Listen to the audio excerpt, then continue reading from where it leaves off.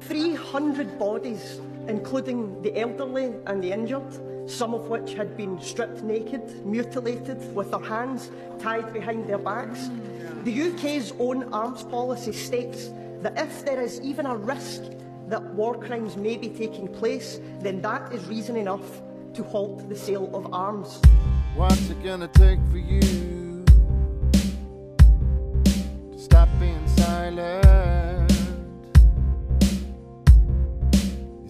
mass graves of the slain, say nothing.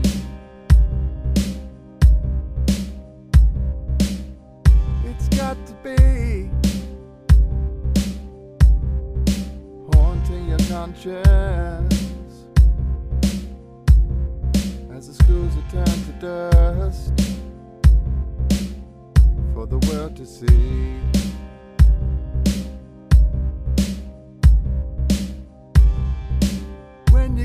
Wake up and see you're being played. When's the light gonna turn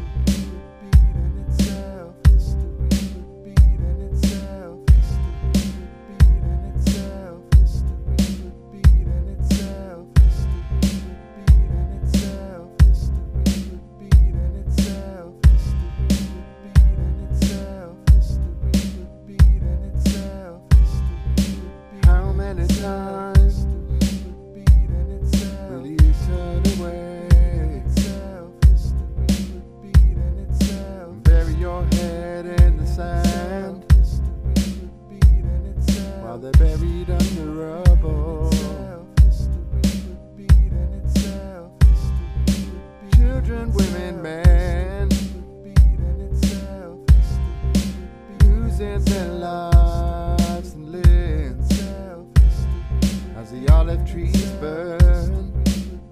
Where is the justice?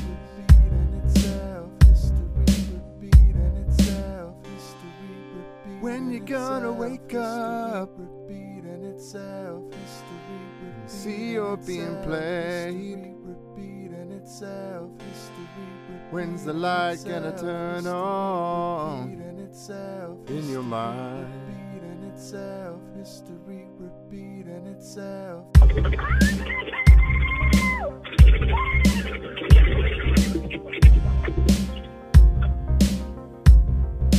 Allô Allô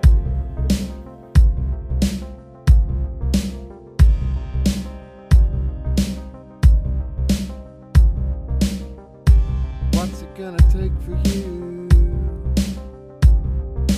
stop being silent? You see the carnage every day. Say nothing.